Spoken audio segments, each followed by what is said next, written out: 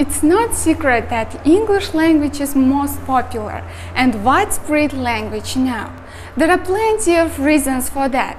Firstly, this language is a little bit melodical and practical to learn. Secondly, it has become important in various fields.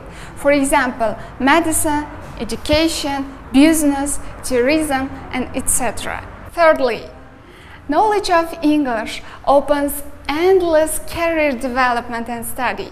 Many international students go to travel in English uh, speaking countries in order to increase their speaking skills and knowledge. I fully understand that and uh, I have been learning this language for five years.